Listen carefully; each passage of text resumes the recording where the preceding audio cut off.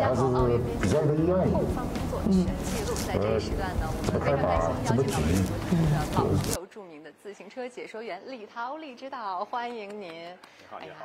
跟很久没有跟你搭档在一块做节目了。话说上一次搭档是在去年的环法。我怎么记得啊？对，好像是去年环法。那不然是什么时候？去年环法，我以为还要更早。是我之前每次见到李指导都是 polo 衫。对吧？对，Polo 里也是你，私下是这么叫的。然后今天忽然看到了穿上西装的你，有一点点不适应。嗯，对，终于是场地车比赛直播到第三天才有机会出镜啊，前两天都穿的很随便。所以其实李涛指导这一段时间，从八月二号到八月八号，场地自行车的所有的赛事都是由李涛老师在咪咕视频以及中国体育，包括可能央五五家都会有这样的一个出镜或非出镜的一个解说。大家看到西装革履的帅气的李涛老师出现的。时候那，就是今天要出镜的时候，对吧？是，是。太热了，北京。其实我觉得出镜很累。啊，对，其实出镜确实，因为毕竟要端着，大家还是要评价你的仪态的。忽然想起来了，去年八月份环法的时候，当时我好像偷拍了你们在解说的时候不出镜的状态，四仰八叉的。对对对，当时很多车迷，然后就说：“哦，原来你们不出镜解说的时候是那样的一个姿态。” 对，那我把这个问题先提前吧。就是刚刚我有跟您交流了一下，就是呃，之前我们在看到李涛指导出现的时候，是在看呃自行车三大赛，环法、环西、环环意等等啊，包括一些其他的这个小赛。但是这一次在奥运会自行车的项目当中，看到李指导出来解说了，解说奥运会和解说三大赛。这个有什么不一样的地方吗？呃，区别非常非常大啊！从我个人的工作的角度来说，因为公路车的赛事全年下来，每年一百多个比赛日啊，虽然是很累，但是大部分的比赛呢，这个赛事我过往是比较熟悉的，而且参赛的运动员大部分都是那些人嘛。嗯。尤其是像环法，你说虽然说啊，连续二十一天的比赛，但是每天都是同样的人，每天是有延续性的。嗯呃，所以无论是一项赛事内部的延续性，还是公路车整个赛季的延续性，都使得我可以顺着这个惯性去往下说啊。但是场地车比赛一直以来在国内的正规的直播并不是很多，呃，每年播场地车比赛，其实正规能能有一次就不错了。我想起来上次。播场地车的比赛还是二零二零年初的场地车世锦赛，所以已经一年半的时间。啊，一年半当中都是播的公路车比赛，重新回到场地车赛场上，还是有大量的准备工作要做啊。场地车刚才你跟郭爽也聊了，那么多复杂的项目，那么多详细的规则，就连我把规则仔细的研究了，嗯到昨天我跟郭爽看见男子团体追逐，嘣撞上了。不知道规则怎么办？裁判都不知道规则怎么办？裁判都不知道。裁判都不知道，因为在这个规则里面没有这一条啊。团体追逐赛如果快的这队把慢的这队撞上，俩人都没有变线，这个规则怎么说？没有的。所以规则特别特别细，而且始终还是有包罗不进去的地方。再加上运动员走马灯似的换的太多，所以其实场地车解说这几天压力很大的，做了不少功课，每天要做大量的工作。呃，再一个区别当然就是中国的运动员啊，就是我们作为解说员，场上有没有中国的运动员，有没有中国运动员有机会去冲击好成绩，乃至于冲击金牌呢？当然我们心情是很不一样的。嗯，所以我至今都记得，在我这么多年的解说生涯里面，特别激动的一个场面是二零一六年解说场地车世锦赛，嗯，中天使拿到个人争先赛的金牌啊，那是我永远记得第一次解说生涯当中能够看到中国的运动员拿冠军，非常激动。当时我跟谁？钱远东知道啊，也是我们的搭档，他自己也是运动员出身，解说那场比赛。所以奥运会的解说，当然就心里面默默的会有这样的期待，说中国的选手如果能拿到金牌的话，在我自己的解说生涯当中会是很特别的一个时刻。嗯。前天有点遗憾，我们没出镜啊，没出镜呢，我就自己悄悄的穿了一个红衣服。平时我很少是吗？很少穿红衣服，那天我专门穿了一个红衣服。哎呀，看见中间是夺冠，确实非常高兴啊！也希望在后面的比赛当中。中国的选手再能够有继续有好的成绩吧。嗯，当时看到钟天使和呃包山菊两个人这个拿到这块金牌的时候，你当时的这种解说的状态是什么样？因为我知道在环法期间，就是李涛老师和另外一另一位解说老师，你们当时的那一段那一段激情解说燃爆了自行车圈哈。呃，不知道 不知道这次自行车的特点 就是它一场比赛时长是很长的嘛，公路车比赛四五个小时，场地车我们一个比赛日一下午也是要三四个小时。的，所以我其实心里面私心啊，就是三四个小时，我不可能始终保持那么高度集中、亢奋的一个状态。有的时候我会稍微的放松、调整、摸鱼、划水都是会有。但是到重要的时刻，公路车的冲刺的阶段，场地车的中国选手要争金牌的阶段，肯定是整个人要调动到非常亢奋的一个状态。所以在赛后我也看到，因为我们拿了金牌嘛，我我觉得。中国队拿到金牌的这一段解说，可能是我解说生涯当中被最多人听到的，因为确实会有很多非自行车的爱好者、普通的体育迷，啊，都会看到这个解说。我自己觉得还还算是比较满意了。要平衡嘛，一方面你要对场上的局面有一个充分的、尽量客观的描述；另一方面，你作为中国的解说员，大家也允许你有一种激情的爆发。呃，我自己还能打个。八十分吧，哦，复盘之后还打了八十分，看来对自己是相当的满意。我觉得我觉得还可以啊，是吧？那你看到了那一场对决之后，你觉得呃这个新组合新搭档，你觉得他们之间的配合如何？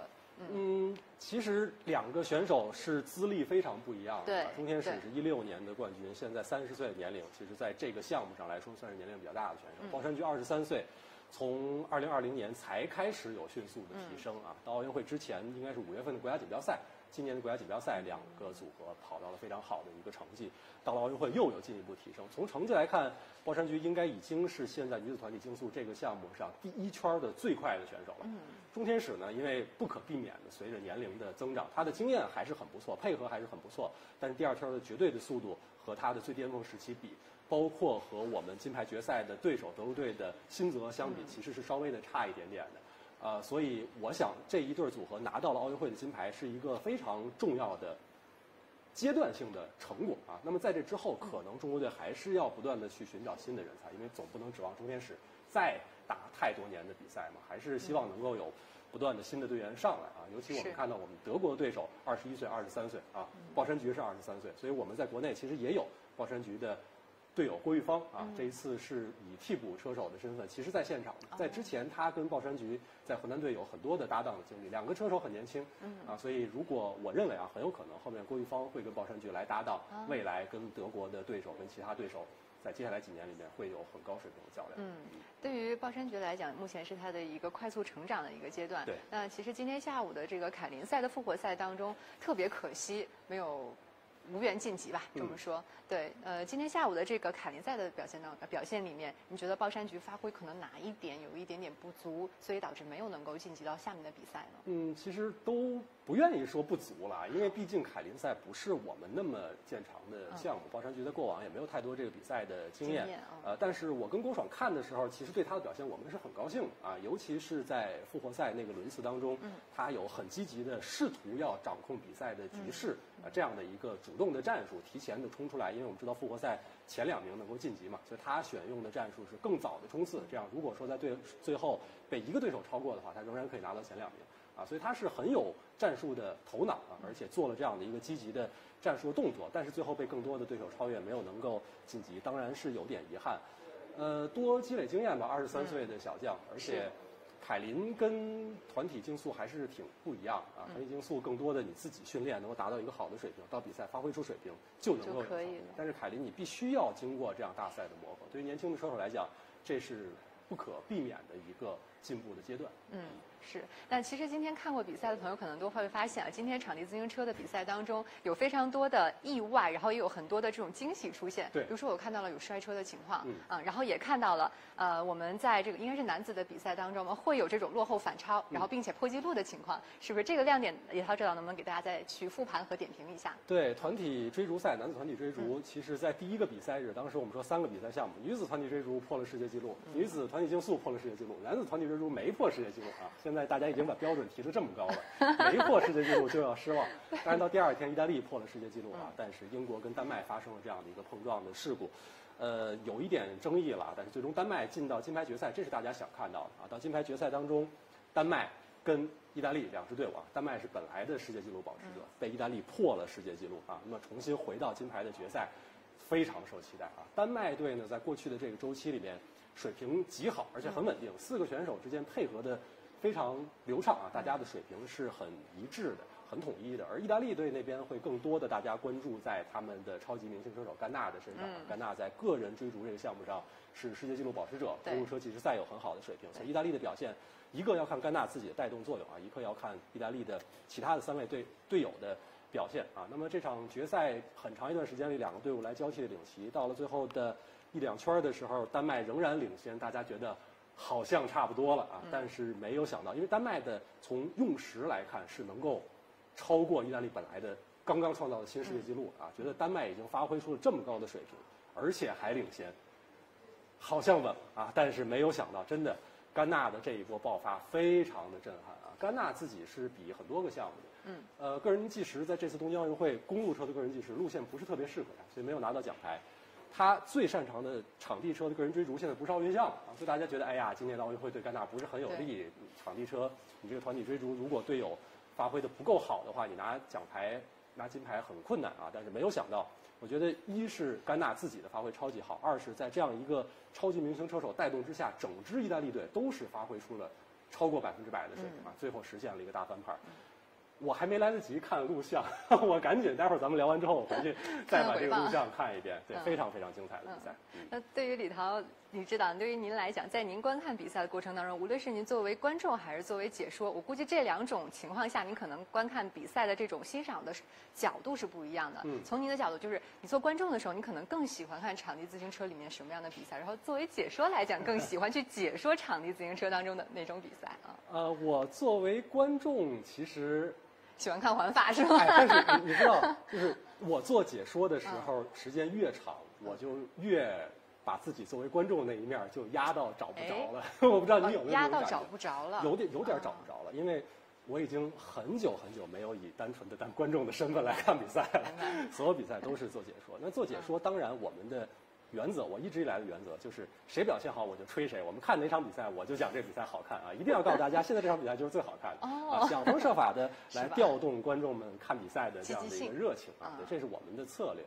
如果要从个人的角度来讲，反正今天团体追逐这是很好的一个项目，因为这个项目能够代表场地自行车运动的最高的水平啊！呃，既是这个项目最高水平，也是能够代表一个国家在这个项目上的整体的实力，再加上。